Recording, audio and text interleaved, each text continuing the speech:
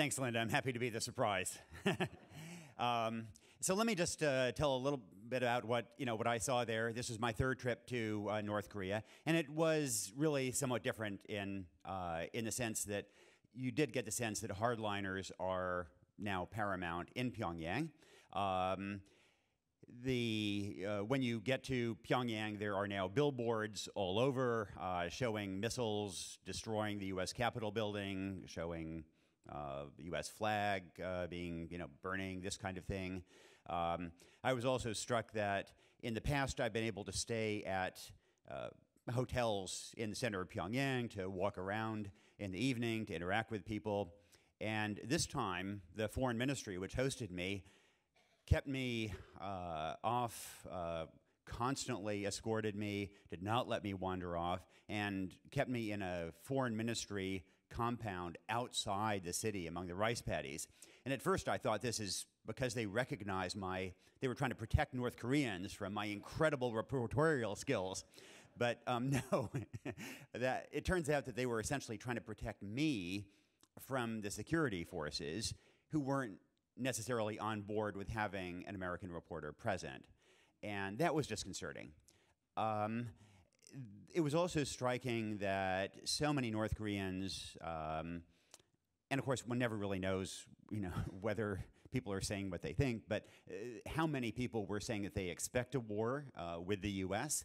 and that uh, they will not only survive this war, but uh, but win, but but uh, but defeat the U.S.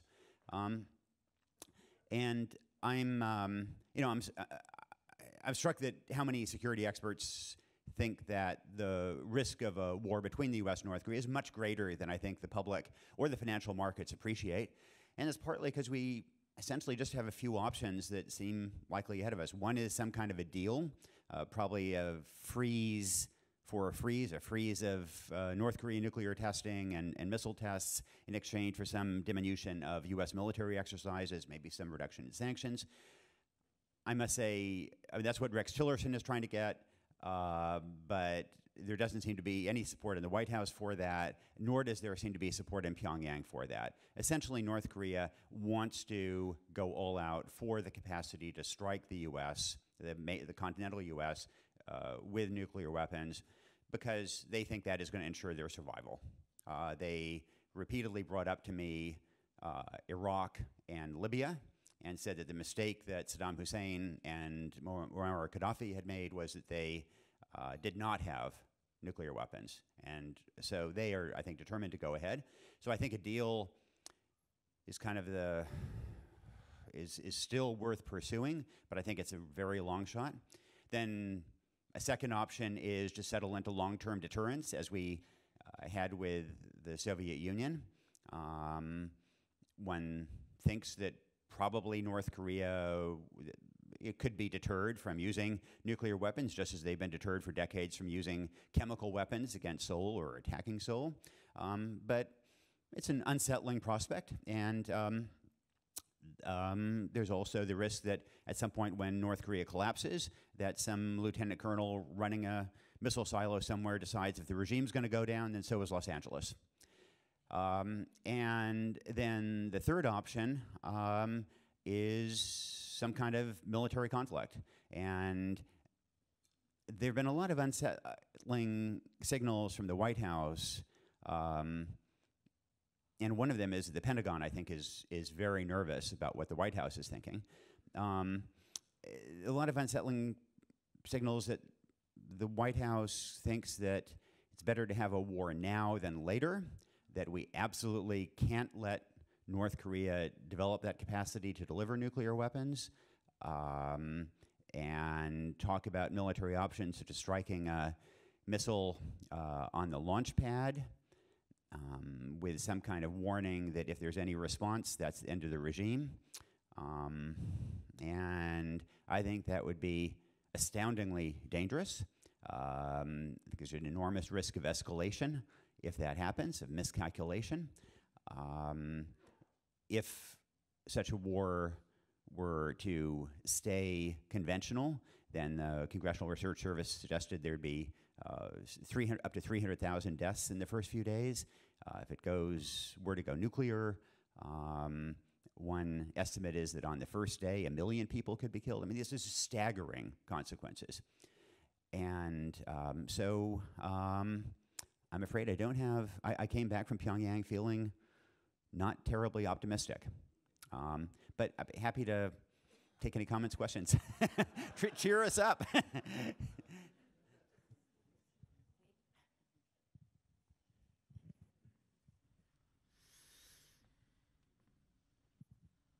Uh, Howard Gardner, Cambridge. Thanks very much for the presentation, also for your columns. Um, I'm interested in whether the U.S. government in any form has um, tried to speak with you apart from what you published, and in your role as a reporter, um, how, do, how, how, how do you or would you handle this in terms of anything that might not be something you'd want to publish? So, um, I mean, one of the problems is that the White House and I are not on the best of terms.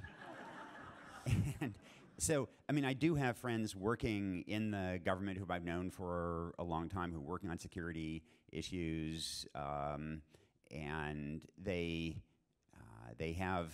I mean, we have spoken, and um, I've told them that I think that their strategy of trying to get China to put pressure on North Korea is uh, probably doomed. Um, there, um, you know, th I think there's real,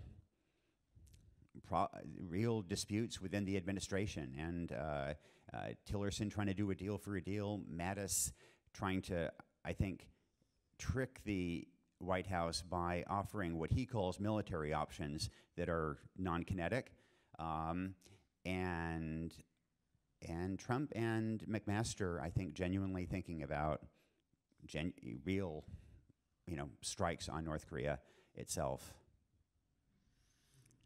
Nick, I'm, I'm going to take the prerogative, if I may. I, I, have, I forget whether I've heard or read that the Pentagon is sufficiently concerned that they've added extra layers in between the president's decision to push the button and the button actually being enabled. And is that true? Um, so I that I don't know. Um, I mean, there were, as you know, sort of a famous incident in 1974 when Nixon was fading, and James Schlesinger, then the D defense secretary, um, um, uh, did uh, stipulate that any order from Nixon uh, should be uh, should be confirmed by uh, himself or I think Henry Kissinger. Um, but I have not heard about that happening this time. There is a congressional effort by Democratic senators to say that, uh, to pass legislation saying that any first strike on North Korea, uh, absent some immediate threat, uh, should require a, a, new authorization of the use of military force. But it's, it's just has Democratic sponsors. I think it's hard to um, see that happening. But I, I, hope, I hope you're right. Uh, Michael Turner, Chicago. Um, I wonder if you know who invited you and why they invited you. It's a very closed society, and so um, uh, I mean, I so every time I go to North Korea, I'm banned for about a dozen years, and then they eventually forget they banned me. And so, indeed, so this time something similar uh, happened, and so I'd been aggressively pursuing an invitation. It was the foreign ministry that invited me, and I think it's because the foreign ministry is desperately trying to find exit ramps. And I think the, the foreign ministry in North Korea and the State Department in this country are both kind of parallel, both looking desperately for exit ramps, probably sympathetic to some kind of a freeze for a freeze.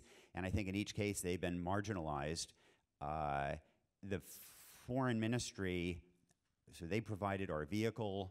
Um, they were trying to get, um, you know, they were they were escorting us, and it seemed that we were being tailed by the security forces who didn't trust the foreign ministry, and that again the foreign ministry was nervous that the security guys might um, be unhelpful regarding my presence and that of, of my three times colleagues.